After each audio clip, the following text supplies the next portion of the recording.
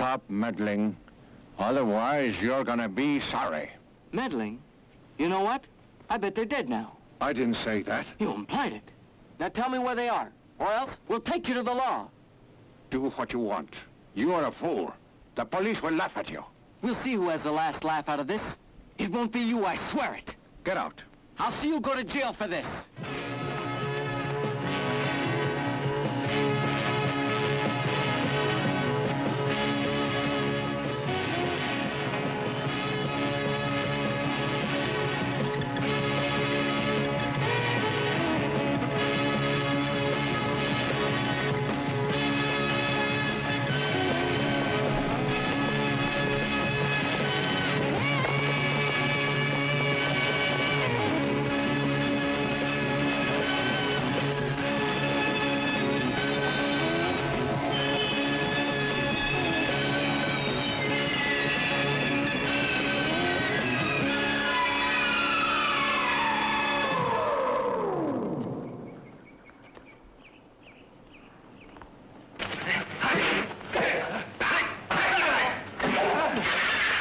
Good.